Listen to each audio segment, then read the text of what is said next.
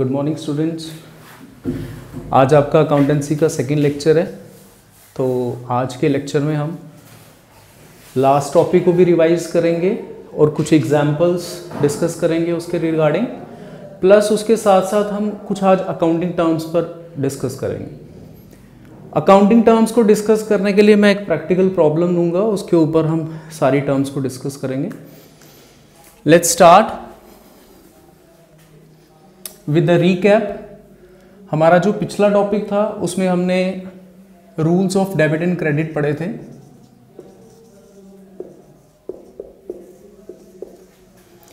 और जैसा कि मैंने आपको बताया था rules of debit and credit में आपको पर्सनल अकाउंट होता है एक, और एक हमारा इम्पर्सनल अकाउंट था।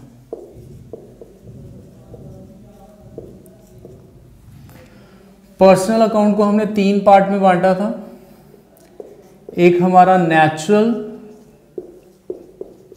पर्सन था, एक हमारा आर्टिफिशियल था, और एक हमारा रिप्रेजेंटेटिव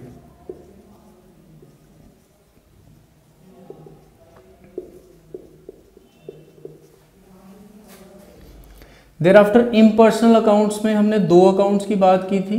एक हमारा रियल अकाउंट था और एक हमारा नॉमिनल अकाउंट था।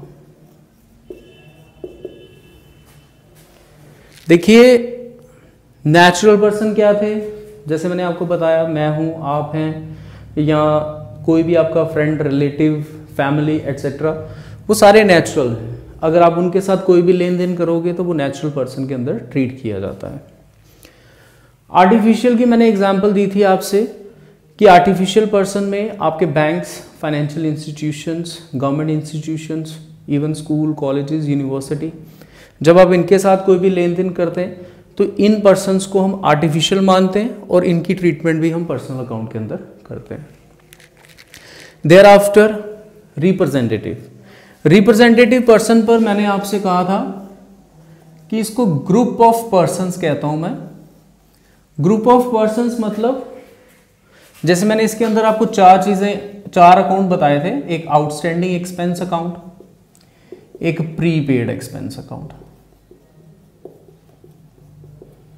एक एक्रूड इनकम्स और एक हमारा advance incomes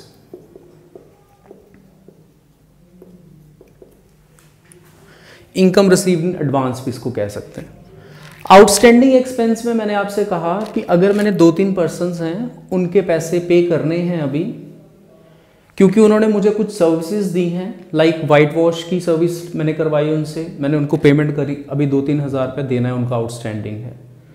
मैंने उनसे इलेक्ट्रिसिटी फिटिंग करवाई है, उसका भी कोई आउटस्टैंडिंग है, कोई एक हज़ार रुपये उसका पेंडिंग है, देने वाला है। तो दैट पर्सनस वो जो चार पाँच पर्सन जिनका आउटस्टैंडिंग है, मैंने जिनको पैसे भी पे करने हैं, उनको पे करने के लिए मैं कॉमन अकाउंट बना लेता हूँ, आउटस्टैंडिंग एक्सपेंस का अकाउंट मतलब ऐसा एक्सपेंस जिसकी पेमेंट अभी आउटस्टैंडिंग है that goes to outstanding expense तो ये आउटस्टैंडिंग एक्सपेंस किसी पर्सन को रिप्रेजेंट करता है, इसलिए रिप्रेजेंटेटिव पर्सन में आता है। अल्टीमेटली इसकी ट्रीटमेंट किसके अकॉर्डिंगली होगी? पर्सनल अकाउंट के अकॉर्डिंग प्रीपेड सेम वे मैंने इनको प्रीपेड पहले पे कर दिए हैं, अभी सर्विसेज़ नहीं ली हैं. तो that group is also included under representative person accrued incomes income accrued इसका मतलब है कि इनकम जनरेट हो चुकी है. मेरी इनकम जनरेट हो चुकी है, लेकिन अभी पैसे आने बकाया हैं, पैसे आए नहीं हैं. तो वही तीन चार पर्सन से जिनसे मैंने पैसे लेने हैं, उनका एक ग्रुप बनाकर उसको मैं रिप्रेजेंटेटिव के अंदर रिप्रेजेंट करता हूँ।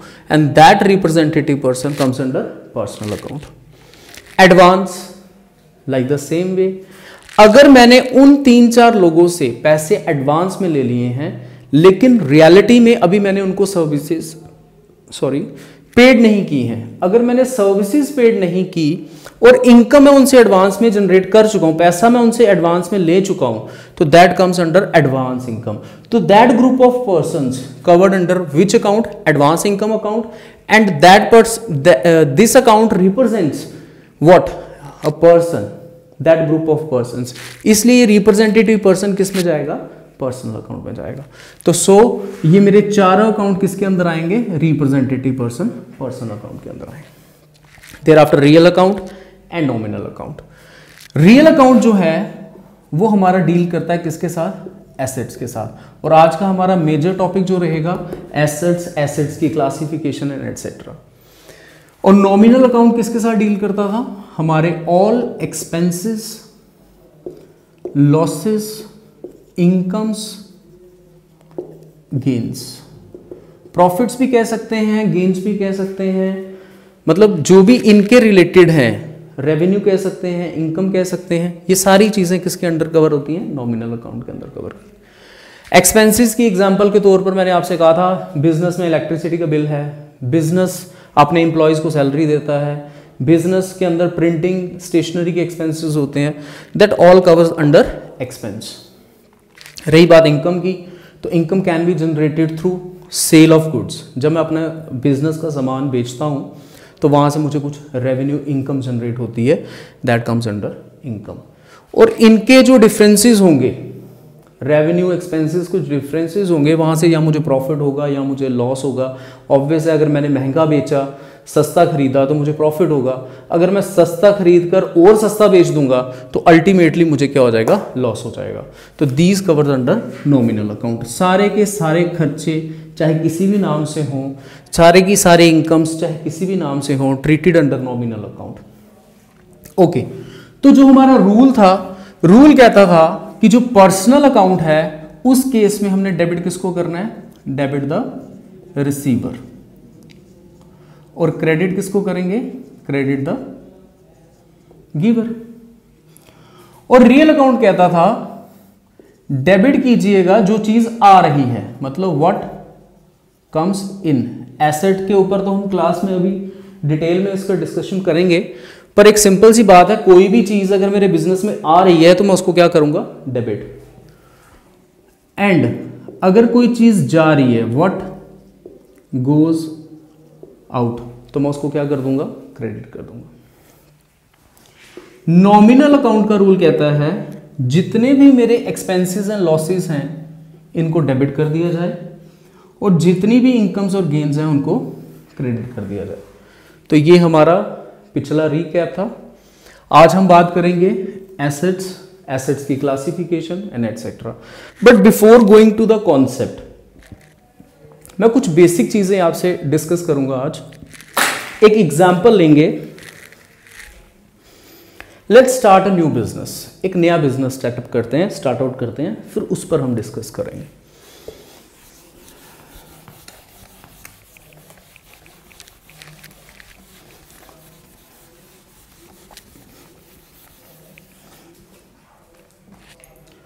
लेट सपोज़ हम और आप मिलकर एक बिज़नेस स्टार्ट करने जा रहे हैं। तो सबसे पहले जब हम बिज़नेस स्टार्ट करेंगे हमें किसकी ज़रूरत है? पैसे की। पैसा होगा तो हम कोई काम कर पाएँगे अदरवाइज़ हम कोई काम नहीं कर सकते। तो अल्टीमेटली लाइक like, हमारी बॉडी में ब्लड है बिज़नेस के अंदर फाइनेंस है पैसा है।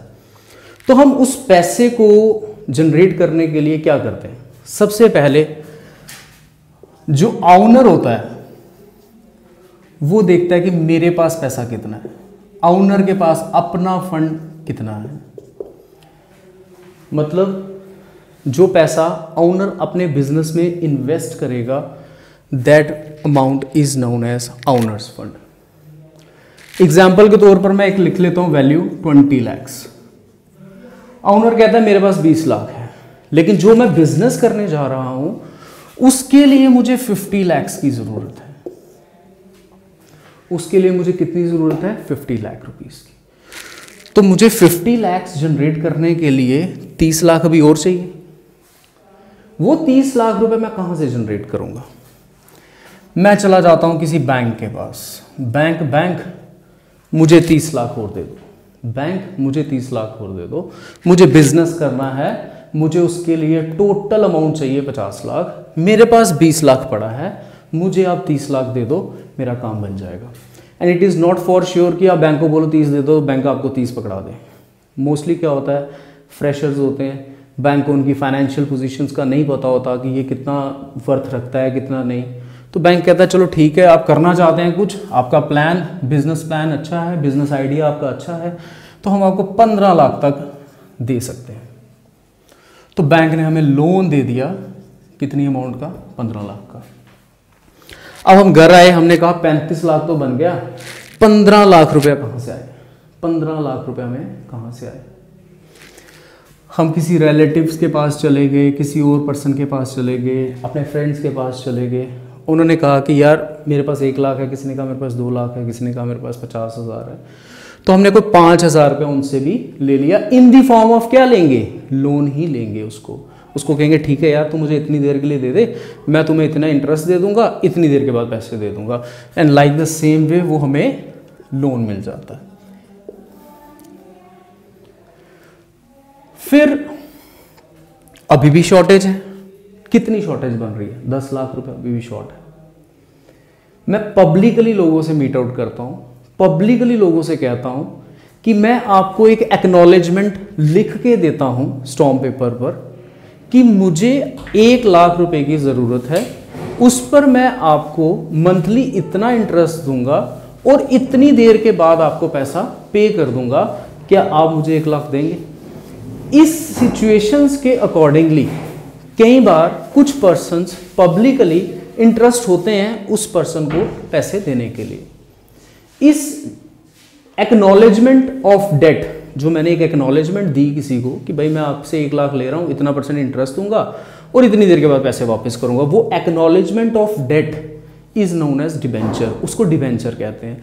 तो मैंने ऐसे ही पब्लिकली डिबेंचर इशू किए लोगों को और उनसे भी मुझे थोड़ी पाँच लाख रुपए की मतलब पैसे मिल गए। अब मैंने देखा बीस, पंद्रह, पैंतीस, पाँच चालीस, पाँच पैंतालीस, अभी भी पाँच लाख का शॉर्टेज है। अब कोई भी चारा नहीं बन रहा कि मैं पाँच लाख कहाँ से एक्वायर करूँ? पाँच लाख कहाँ से एक्वायर करूँ? मैं फिर बैंक के पास जाता हूँ। बैंक मुझे अभी भी पाँच लाख कम पड़ रहा है। मुझे पाँच लाख की आप और सपोर्ट कर दें बैंक कहता मैं नहीं दे सकता पाँच लाख। मैंने पंद्रह लाख की लिमिट थी। मैंने आपको पंद्रह लाख दे दिया। मैं पाँच लाख और नहीं दे सकता। ओके ओके हम कहते हैं बैंक हमें आप पाँच लाख नहीं दे सकते। तो आप हमें थोड़े पीरियड के लिए थोड़ा अमाउंट दे सकते हैं। तो बैंक हमसे टर्म लेता है कि ठीक है, अगर आप दो लाख रुपया चाहिए हो आपको कभी भी, अगर आपको दो लाख रुपए चाहिए हो कभी भी विद इन फिफ्टीन डेज़ आप हमें रिफंड कर दें तो आप हमसे ले सकते हैं। विद इन फिफ्टीन डेज़ अगर आप वो पैसा हमें रिफंड कर दें तो आप वो ले सकते हैं। मतलब मैंने बैंक से दो लाख लिया, अपना काम किया पंद्रह दिन के अंदर पैसे वापस लाए कहीं से और बैंक को वापस कर दिए। फिर मुझे बीच में ज़रूरत पड़ गई, मैंने फिर लिए बैंक से, फिर पंद्रह दिन के अंदर अंदर वापस बैंक को दे दिए। इस तरह से मैं बैंक से टू लाख रुपीज़ की और फाइनेंशियल सपोर्ट ले लेता हूँ।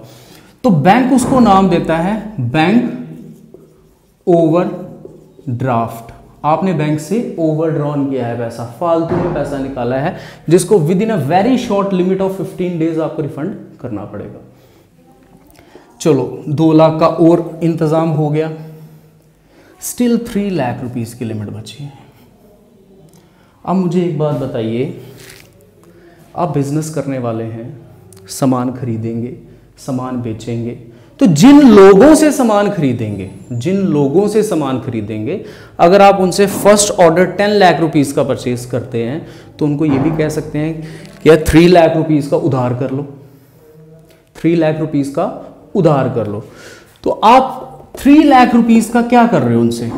गुड्स ले रहे हो, सामान ले रहे हो ऑन क्रेडिट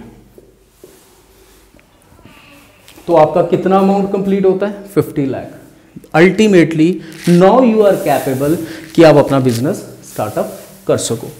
तो देखिए ओनर ने पैसा लगाया अपना बीस लाख, फिर बैंक से लोन लिया, पंद्रह लाख फिर रिलेटिव से फ्रेंड से लोन लिया, पाँच लाख।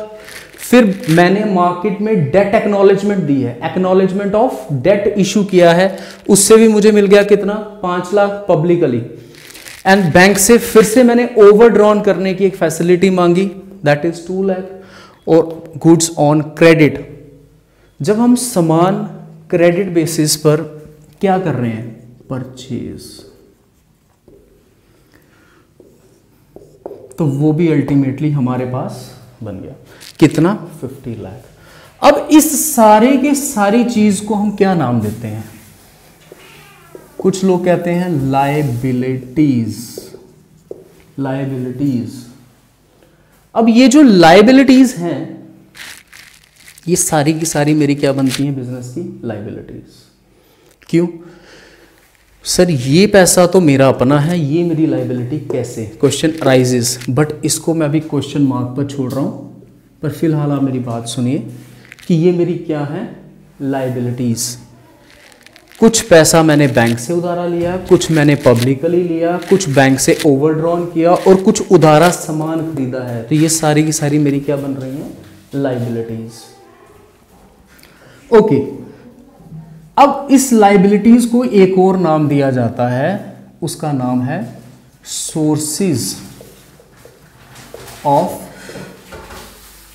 फंड्स मतलब मुझे फंड्स कहाँ से आए? सोर्स क्या है इन फंड्स का? तो लाइबिलिटीज को ही दूसरा नाम क्या देते हैं हम? सोर्सेज ऑफ़ फंड्स पैसा कहाँ से आता है? इसमें ओनर ने अपना पैसा डाला। इसमें बैंक से पैसा उधारा लिया या किसी अदर रिलेटिव से लिया, चाहे मैंने पब्लिकली डेट्स लिए हैं, चाहे मैंने बैंक से ओवरड्रॉन की फैसिलिटी ली है, चाहे मैंने उधारा सामान खरीदा है। तो these all are known as what liabilities अब मैं लाइबिलिटीज की क्लासिफिकेशन करूँगा। पहली क्लासिफिकेशन क्या है? पहली लाइबिलिटी की type owner fund owner fund मतलब जो पैसा ओनर ने लगाया है, वो पहली लाइबिलिटी की टाइप है। बैंक लोन या कोई रिलेटिव से लोन या कोई डिबेंचर्स ये सारे के सारे पैसे मुझे आफ्टर वन ईयर पे करने हैं। मतलब एक साल के बाद पे करने हैं। Either two years either five years either seven years कोई भी हो सकता है। लेकिन मुझे इसको लॉन्ग टर्म बेसिस पर पे करने हैं। इसलिए ये मेरी लाइबिलिटी कौन सी बनती है? लॉन्ग टर्म लाइबिलिटी इसको हम दूसरा नाम देते हैं नॉन करंट लाइबिलिटीज इसको मैंने शॉर्ट फॉर्म में लिखा है, मैं पूरा लिख देता हूँ। लॉन्ग टर्म लाइबिलिटीज अब बैंक से ओवरड्रॉन करवाया है, मुझे पंद्रह दिन के अंदर पैसे वापस करने हैं। मैंने जिस पर्सन से सामान खरीदा है, उस पर्सन को भी मेरे को फ्यू टाइम में पैसे वापस करने हैं। इसलिए ये कौन सी लाइबिलिटी है? Short term short term liabilities short term liabilities को ही हम करंट लाइबिलिटीज के नाम से जानते हैं। मैंने अभी एक चीज़ दोहराई। गुड्स ऑन क्रेडिट परचेज मतलब मैं परचेज कर रहा हूँ उधार पर। मैं परचेज कर रहा हूँ उधार पर किसी पर्सन से। वो पर्सन क्या कहलाया जाता है? क्रेडिटर वो पर्सन क्या कहलाया जाता है? क्रेडिटर इसलिए बैंक ओवरड्राफ्ट हो क्रेडिटर हो, ये मेरी सारी की सारी शॉर्ट टर्म लाइबिलिटीज है मतलब करंट लाइबिलिटीज हैं। डिवेंचर हो या कोई भी लोन हो लॉन्ग टर्म का उसको हम क्या बोलते हैं? नॉन करंट लाइबिलिटीज और तीसरी टाइप लाइबिलिटी की कौन सी आती है? ओनर्स फंड जो पैसा ओनर ने खुद का लगा रखा है that is also a type of liability sir क्या ये तीन ही टाइप्स हैं? Owners fund non current liability current liability एक और लाइबिलिटी है, जिसका नाम है contingent liability contingent liability contingent liability तो लाइबिलिटी रहेगी। कॉन्टिजेंट का क्या मतलब? कॉन्टिजेंट का यहाँ मतलब आता है मे और मे नॉट अक्कर ये किसी फ्यूचर इवेंट की हैपनिंग पर डिपेंड करती है। फ्यूचर इवेंट की हैपनिंग पर डिपेंड करती है। अगर वो इवेंट अराइज होगा तो ये लाइबिलिटी होगी। अगर वो इवेंट अक्कर नहीं हुआ तो ये लाइबिलिटी राइज नहीं होगी। इसलिए इसको हम कॉन्टिजेंट लाइबिलिटी का नाम देते हैं। एग्ज़ाम्पल आप इंश्योरेंस की एक बेसिक एग्ज़ाम्पल है। आपने किसी क्लेम के लिए अप्लाई कर रखा है। आपकी गाड़ी का एक्सीडेंट होता है। आप इंश्योरेंस कंपनी को कहते हो कि भाई मैंने गाड़ी इंश्योर्ड थी, आप इसका क्लेम मुझे दे दीजिए। इंश्योरेंस कंपनी के साथ आपका केस लग गया। इंश्योरेंस कंपनी कहती, मैं क्लेम नहीं दूँगी। ये पैसा तो आपको ही देना पड़ेगा। मतलब मुझे ही देना पड़ेगा। अगर वो अगर वो केस मेरे फेवर में आया तो लाइबिलिटी किसकी इंश्योरेंस कंपनी पे करेगी? मुझे कोई नहीं होगा। लेकिन अगर वो फेवर मेरे नहीं बोला तो अल्टीमेटली वो लाइबिलिटी किसकी बन जाएगी? मेरी। तो that liability occurs on the future event मतलब उस केस के डिसीज़न के ऊपर डिपेंड करता है कि वो लाइबिलिटी अक्कर करेगी या नहीं करेगी। इसलिए ये जो मेरी लाइबिलिटी है, ये कौन सी लाइबिलिटी कहलाई जाएगी? Contingent liability that may or may not occur so now this is a liability हमारे पास टोटल चार तरह की लाइबिलिटीज हैं। एक ओनर्स फंड की है, एक हमारी नॉन करंट लाइबिलिटीज हैं, जिसको हम लॉन्ग टर्म लाइबिलिटीज भी बोलते हैं, और एक करंट लाइबिलिटीज जिसको हम शॉर्ट टर्म लाइबिलिटीज बोलते हैं, और फोर्थ वन हमारी कॉन्टिजेंट लाइबिलिटी है। ओनर्स फंड के अंदर जो पैसा ओनर ने लगाया है, उसको हम कहते हैं ओनर्स फंड और नॉन करंट के अंदर मैंने आपको बताया है जो लॉन्ग टर्म बेसिस पर। जैसे मैंने बैंक से लोन ले लिया कि मैं चार साल बाद पैसे दूँगा, पाँच साल बाद पैसे दूँगा। डिबेंचर्स, लोगों से मैंने कह दिया कि भाई ठीक है, मैं आपको लिख के देता हूँ कि मैं आपको पाँच साल के बाद आपके पैसे वापस कर दूँगा और हर साल आपको इतना इंटरेस्ट भी दिया करूँगा। Bank overdraft as I already told you पंद्रह दिन के अंदर मुझे पेमेंट रिफंड करनी है बैंक को। देर आफ्टर फिर मैं उसको विड्रॉ कर सकता हूँ और फिर मैं उसकी पेमेंट कर सकता हूँ। बट फ़िलहाल that over drawn from bank is known as what short term liability और वो पर्सन जिससे मैं उधार पर सामान खरीद रहा हूँ। वो पर्सन कौन है? क्रेडिटर वो भी मेरी किसमें आएगी? Short term liability current liability as you already know कि मैं किसी से उधारा सामान खरीदूँगा तो एक महीने बाद, दो महीने बाद 45 डेज़ या whatever be the term period मुझे पेमेंट उसको विद इन ईयर देनी ही पड़ेगी। इसलिए ये भी मेरी क्या है? Current liability so now liabilities are also known as sources of funds तो ये हमने लाइबिलिटीज पर डिस्कस किया है। Now we will discuss about the assets assets की डिस्कशन से पहले मैं आपसे बात करूँगा कि ये जो हमारा पार्ट है आपका कॉन्टिजेंट लाइबिलिटीज का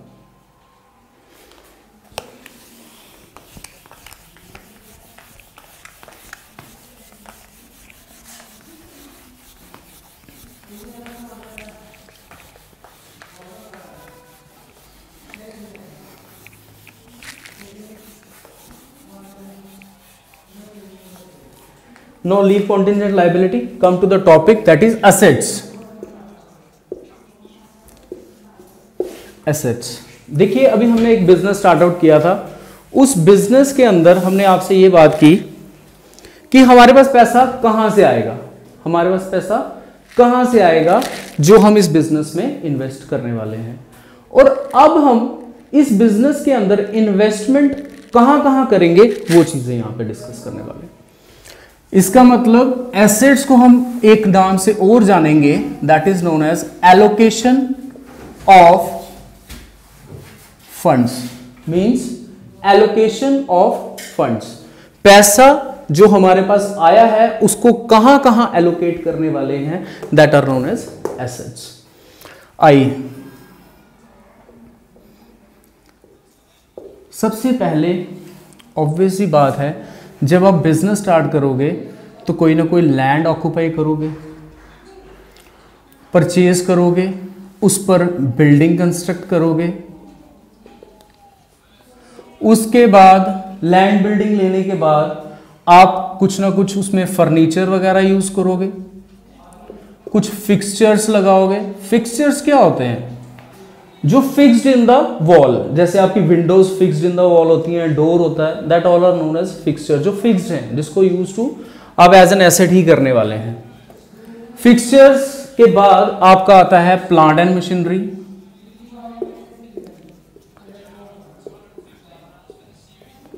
plant and machinery के बाद आप और क्या चीज़ें आप बिज़नेस के अंदर मतलब एज एन एसेट यूज़ करते हैं? लाइक अदर्स आप इक्विपमेंट्स एटसेट्रा ये हमारी कुछ ऐसी चीज़ें हैं जो हम बिज़नेस को स्टार्टअप करने से पहले हमारे पास होनी चाहिए। लेट सपोज़ हमने इसमें कंसोलिडेटेडली को ट्वेंटी लाख रुपीज़ इसमें इन्वेस्ट कर दिया। उसके बाद उसके बाद हमने एक इन्वेस्टमेंट की है कहीं पे। इन्वेस्टमेंट की है हमने कहीं पे। हमने कहा बिज़नेस तो होगा ही होगा, लेकिन थोड़ी इन्वेस्टमेंट कहीं और कर देते हैं। वहाँ से भी हमें कुछ ना कुछ इनकम जनरेट होती रहेगी। तो लेट सपोज़ हमने फाइव लाख रुपीज़ इन्वेस्टमेंट कर दी कहीं पे। इन्वेस्टमेंट के बाद मैंने डेफिनेटली अब बिज़नेस करना है, सामान भी उधारा बेचना पड़ेगा मुझे। तो मैंने गुड्स ऑन क्रेडिट बेसिस पर सेल कर दिए क्रेडिट बेसिस पर गुड्स मैंने उधारे बेच दिए। अगर मैं इन लोगों को भी उधार पर सामान बेचूँगा तो मेरा कुछ पैसा यहाँ भी जाइए। लेट सपोज़ मैंने फाइव लाख रुपीज़ के गुड्स उधारे बेच दिए किसी को। ओके कुछ ना कुछ सामान मेरे को अपने पास विद हेल्ड भी रखना पड़ेगा। कोई पता थोड़ी है कि सुबह सुबह शटर दुकान का खुलते ही कस्टमर आ जाए तो मुझे कुछ ना कुछ सामान तो अपने पास होल्ड पे रखना पड़ेगा। मतलब goods unsold let suppose five lakh rupees के मैंने वो भी अपने पास रखे हैं, जो गुड्स अभी अनसोल्ड हैं, जो मैंने अभी सामान बेचा नहीं है। इसके बाद और कौन सा ऐसा है? थोड़ा सा कैश भी मुझे रखना पड़ेगा अपनी जेब में। हो सकता है कोई इमीडिएट मुझे डील क्रैक करनी हो। बिज़नेस के अंदर तो मुझे पास पैसा तो होना चाहिए। ऑन द स्पॉट पे करने के लिए। लिटिल बिट मुझे बैंक बैलेंस भी रखना पड़ेगा अपने पास। बैंक बैलेंस में भी लेट सपोज़ हमने पाँच लाख रुपए डाल दिया। तो कैश भी रख दी बैंक बैलेंस भी रख दिया गुड्स ऑन क्रेडिट सेल भी कर दी गुड्स अनसोल्ड भी रख दिए। तो ये सारे के सारे मेरे किसके पार्ट बन गए? एसेट मेरे अपने पैसे हैं ये। चाहे वो किसी के पास पड़े हुए हैं, क्योंकि मैंने सामान उसको उधार पर बेचा है, पैसे उसके पास पड़े हुए हैं, लेकिन ये मेरा एसेट है। गुड्स अनसोल्ड है, सामान कोई पड़ा हुआ अंदर अभी बिका नहीं है that is also my asset कुछ कैश पड़ी है मेरे पास that is also my asset और कुछ बैंक बैलेंसेस में पड़े हुए पैसे, वो भी मेरा क्या है? एसेट सर टोटल तो पचास लाख था। दस दस, बीस बीस, चालीस, पाँच, पैंतालीस अभी भी पाँच लाख रुपए आपके पास पड़ा है। वो किसकी फॉर्म में पड़ा है? वही आज का एक मेन टॉपिक है, जो मेरा पाँच लाख अभी सेकेंडरी है, पर मैंने उसको यूज़ टू करना है, कहाँ करना है? सपोज़ टू बी ये जो पाँच लाख रुपया मेरे पास अभी पड़ा है, मैं अपने बिज़नेस को अप्रेज करना चाहता हूँ। तो अप्रेज करने के लिए लेट सपोज़ मेरी शू मेकिंग बिज़नेस है। तो मैं अब क्या करता हूँ? मैं नाइकी वालों से एंगेज करता हूँ। उनसे कहता हूँ कि, सर, जिस तरह का आपका ट्रेडमार्क है, मैं वो ट्रेडमार्क यूज़ करना चाहता हूँ। तो आप मुझे क्या ये ट्रेडमार्क यूज़ करने देंगे? तो डेफिनेटली वो हमसे कहेंगे कि नो मैं आपको ये ट्रेडमार्क यूज़ नहीं करने दूँगा। तो मैं उसको कहूँगा कि, ओके, अगर आप हमें अधिकार देते हैं, अगर आप हमें ये राइट देते हैं कि हम आपका ट्रेडमार्क यूज़ करें तो मैं आपको उसके अगेंस्ट पे कर सकता हूँ. तो इट मींस मैं उनसे ट्रेडमार्क क्या कर रहा हूँ? परचेज कर रहा हूँ। मैं उनसे ट्रेडमार्क क्या कर रहा हूँ? परचेज कर रहा हूँ। जब मैं उनसे ट्रेडमार्क को परचेज करूँगा तो वो पेमेंट्स लेट सपोज़ मैंने उनको टू लाख रुपीज़ उसका पे कर दिया। किसका? ट्रेडमार्क का। लेकिन ट्रेडमार्क क्या है? मैंने तो ट्रेडमार्क एज अ उनसे जो यूज़ करने के लिए लिया है, वो सिर्फ़ एक अधिकार लिया है। क्योंकि जो उसके ऊपर स्टिकर्स लगेंगे, वो मैं खुद बनाऊँगा। उसके पैसे मैं खुद कंज्यूम करूँगा। अच्छा उसके ऊपर जो लेबर कॉस्टिंग होगी, सब कुछ होगा, वो मेरा होगा। वो मुझे दैट कंपनी नहीं प्रोवाइड कर रही है। सिर्फ़ एक अधिकार दे रही है मुझे कि आप ये वाला ट्रेडमार्क यूज़ कर सकते हैं। फॉर दैट राइट ओनली मैं उनको क्या पे कर रहा हूँ? टू लाख रुपीज़ पे कर रहा हूँ। लाइक द सेम वे हमारी बुक पब्लिकेशन कंपनी है। हम बुक को पब्लिश करते हैं। तो आप देखते हैं, कोई भी बुक होती है तो वो बुक बनाता कोई है बुक को बनाता कोई है, और पब्लिश तो हम बात कर रहे थे कि लेट सपोज़ मैंने बुक पब्लिश मतलब स्टार्ट आउट किया है। तो अगर बुक बनाने वाली कंपनी कोई और है और पब्लिश करने वाली कोई और है तो जब बुक बनाने वाले से हम एक राइट लेते हैं कि क्या हम आपकी बुक को पब्लिश कर सकते हैं तो वो कहता है कि ठीक है सर, अगर आप करना चाहते हैं आप करिए, लेकिन उसके अगेंस्ट हमें कुछ पेमेंट्स कर दीजिए। लेट सपोज़ हमने टू लाख रुपीज़ उसको भी पे किया और उससे हमने क्या ले लिया? कॉपीराइट ले लिया। उससे हमने एक अधिकार ले लिया कि हम आपका कॉपीराइट यूज़ करेंगे। हम आपसे एक अधिकार लेंगे कि आपकी बनाई हुई बुक को हम पब्लिश कर सकते हैं। That is known as what copyright अब हमने लेट सपोज़ अगर हमारी फार्माकेटिकल कंपनी होती फार्मा का काम होता अगर हमारा मेडिसिन के रिगार्डिंग तो वट वट एल्स उस केस में क्या होता है कि कोई लैब में कोई एंटीडोट बनाया जाता है किसी चीज़ का, या आप कह सकते हो कि किसी चीज़ का आप मतलब क्योर निकालते हो। जैसे आजकल पैंडमिक यूज़ मतलब कॉमनली यूज़ हो रहा है वर्ड तो उसके अगेंस्ट अब वैक्सीन आई है। अब जिसने वो वैक्सीन बनाई है दैट इज़ डिफरेंट वो डेफिनेटली कोई और होगा। लेकिन उस राइट को जो परचेज करके, उसको आगे, उसकी मैन्युफैक्चरिंग करके मार्केट में लोगों को प्रोवाइड करेगा दैट पर्सन ने क्या किया? उसने अधिकार लिया है उस पर्सन से कि जो फॉर्मूला आपने बनाया है, जो उसकी वैक्सीन आपने बनाई है, वो फॉर्मूला आप हमें दीजिए, हम उसका राइट आपसे चाहते हैं। फॉर दैट सेक जो हम उससे चीज़ वो लेंगे, वो राइट लेंगे उस वैक्सीन को मार्केट में सेल करने का तो उस राइट के अगेंस्ट भी हमें कुछ ना कुछ पेमेंट उसको देनी पड़ेंगी। Let suppose it's equal to fifty thousand let suppose point five lakh तो मींस उससे हमने क्या लिया? वो जो पेटेंट उसको हम वर्ड यूज़ करते हैं that right is known as patent and in the last fifty thousand की हमने किसी पर्सन से फिफ्टी थाउज़ेंड की हमने किसी पर्सन से गुडविल परचेज की गुडविल परचेज की. इसको मैं हाईलाइट कर रहा हूँ. इस हैशटैग को मैं आगे कवर करूँगा. बट फिफ्टी थाउज़ेंड की हमने क्या यूज़ की है? गुडविल यूज़ की है। तो this is the overall allocation of funds means asset अब देखिए, ये सारे के सारे जो वन टू एट मैंने कवर किए हैं, ये मेरे सारे के सारे कौन से एसेट हैं? नॉन करंट एसेट्स और ये इन्वेस्टमेंट मेरा क्या है? अगर इन्वेस्टमेंट शॉर्ट टर्म होगी तो ये मेरा करंट एसेट कहलाया जाएगा। अगर ये मेरी लॉन्ग टर्म होगी तो ये मेरा नॉन करंट एसेट कहलाया जाएगा। Depend upon the nature of the item अगर इन्वेस्टमेंट शॉर्ट टर्म है तो वो मेरा करंट है। अगर इन्वेस्टमेंट लॉन्ग टर्म है तो वो मेरा नॉन करंट है। Okay rest of the things मैंने उसमें आपसे पहले डिस्कस की लाइबिलिटीज में, अगर हम उधार पर सामान खरीदते हैं तो उस पर्सन से हम क्या कहते हैं? क्रेडिटर और अगर आज हम उधार पर सामान बेच रहे हैं तो इसको हम क्या कहते हैं? डेटर डेप्टर नहीं D E B T O R debtor नहीं कहते डेटर कहते हैं। सो so, ये डेटर हमारा क्या होगा? ये हमारा करंट एसेट होगा। ये डेटर हमारा क्या होगा? करंट एसेट गुड्स अनसोल्ड जो सामान अभी बिका नहीं है इसको हम कहते हैं स्टॉक स्टॉक कुछ इसको इन्वेंट्री के नाम से भी जानते हैं। One and the same thing inventory के नाम से भी जानते हैं। तो ये हमारा स्टॉक और इन्वेंट्री ये भी हमारा क्या बनेगा? करंट एसेट और cash current asset bank balance current asset तो आज हमने करंट एसेट की एग्जांपल्स भी डिस्कस कर ली, हमने नॉन करंट एसेट्स की एग्जांपल भी डिस्कस कर ली, और हमने इन्वेस्टमेंट के ऊपर भी चर्चा कर ली कि करंट होती है नॉन करंट होती है.